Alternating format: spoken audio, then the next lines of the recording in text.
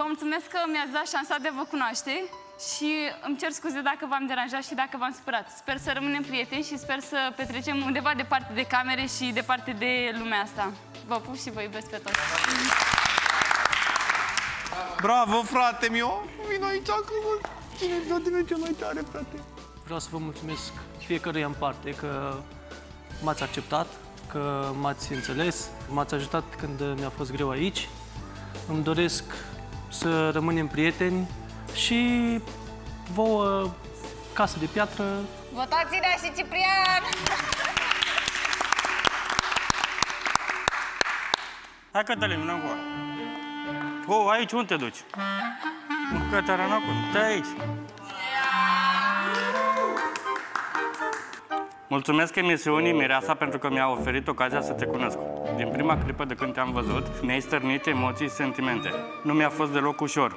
Am să trec prin orice război ca să ajung la inimioara ta. Ne iubesc, Titi.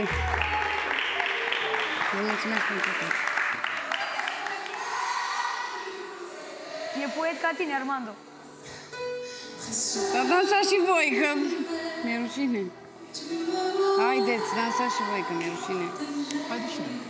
Se simte aiurea.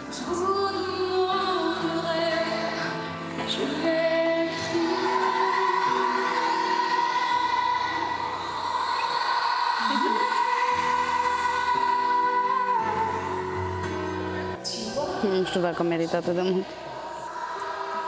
În război și în iubire permis orice. Mulțumesc! Îți mulțumesc! Nu știu dacă merită atât de mult. Meriți. E cel mai minunat copil. Să știi că Dumnezeu va avea grijă de tine și îți va trimite și ție pe cineva care să te iubească așa cum meriți, pentru că ești un om minunat. Pare atât de rău că n-am putut să mă apropii mai mult. Trebuie să fii trist pentru că nu primești ceea ce dorești. O să vezi că Dumnezeu va avea grijă de tine și îți va trimite și ție. Știu sigur chestia asta. Pentru că oamenii buni tot timpul la sfârșit vor fi fericiți. Trebuie să ai încredere în tine. Trebuia să-ți pare rău dacă făceai pentru altceva, pentru bani sau pentru altceva. Dacă n-ai simțit, nu vezi ce fac alții pentru bani, Eu când am intrat în competiția asta, am intrat cu gândul minim o lună. S-a întâmplat să rezist, să fiu iubit, cei de acasă m-au iubit. Am intrat cu gândul, zic, bă, o lună, de uite, am ajuns în final. Așa că, singur, poate că sunt singur, sunt mulțumit pentru că nu am găsit acea persoană care mi-o doream și să fac un pas atât de mare. Pe care? Îmi pare rău pentru că provocat sau neprovocat. V-am deranjat, v-am jignit, poate. Și eu vă mulțumesc că m-ați suportat. Eu vrute, nu vrute, trebuia să vă suport. Adică tu când Pavarotti în baie și tot noi să ne cere scuze. Așa. și vreau să fac un moment frumos. Petronela, Puteți să te aplaudăm înainte?